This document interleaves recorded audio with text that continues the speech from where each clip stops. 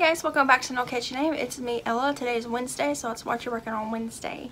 So my WIP today I actually ended up finishing because June had a nap earlier this morning and I was working on it then and she ended up sleeping a longer, a lot longer than I thought she was going to, so I ended up finishing it. But I'm still going to show it to you guys. So it's a free pattern that is actually a video tutorial here on YouTube and the creator is called CrochetTor. I'll link the channel down below and the video but it was I made made it with a G uh, hook which in this case it was a 4.5 millimeter because I couldn't find my 4.0 uh, millimeter one. And I used worsted weight yarns. So what I made was a character off of a video game that Jesse likes called Fall Guys. So here it is. It's a fall guy. I made it pink because when you first start the game your outfit is pink. And then as you win levels and experience points you can upgrade your outfit and uh, add accessories.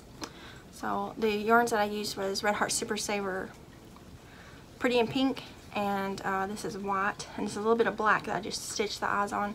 In the pattern she uses felt for the eyes but it's made in six pieces so the two feet, the two arms, the body, and this little mask is all the pieces and uh, I saw the mask on before the body was closed and the arms and legs were easy enough to add on.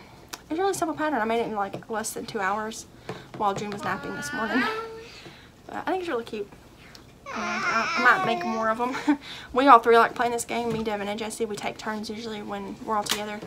We'll play until one of us uh, doesn't. It's not dying. It's called uh, disqualifies, and uh, then we'll pass the controller and let someone else play it. So it's it's a lot of fun to play it. And uh, I like this little guy. I think he turned really cute. So I'll probably make more. But I'll link this pattern down below and the channel down below. To check it out. She's got a lot of really cute patterns. Um, a lot of them are like nerdy based ones like Pokemon and stuff and uh, some other game characters and things like that. So check it out. It does have little fingers and a thumb. Those are kind of annoying to do, but it does add some to it. It's cute. But um, yeah, those are just crocheted onto the arms. So it's not that bad. It's just kind of annoying. but I think it's turned out really cute. So I'll leave it down below if you want to check it out. Also, I'll probably work on my Oogie Boogie from my crochet uh, Nightmare Before Christmas kit. I started him a few days ago. I don't remember when. So uh, I got like that much of him done. so I'm working on his body. And then uh, he's only got a few pieces, I think, after his body. What? So I'm, I'll probably work on that later today if I get a chance. But let me know in the comments down below what you guys are working on and feel free to share any links and things.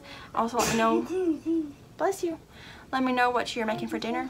I We didn't make anything special today, but I'm going to make some pork chops tomorrow. Mostly because I forgot to throw any meat today. but um, I'm going to make some pork chops tomorrow in the crock pot. So that's going to be dinner for tomorrow. But I guess that's it. I'm going to go ahead and hop off here because she's a little tired. I know she's probably about ready for a nap. And I will see you guys in another video. Bye guys.